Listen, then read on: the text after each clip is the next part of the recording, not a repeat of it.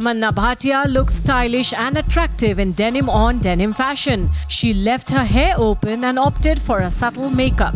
The actress was snapped outside Bastion Worli restaurant in Mumbai and we just cannot stop admiring her neon pointy footwear.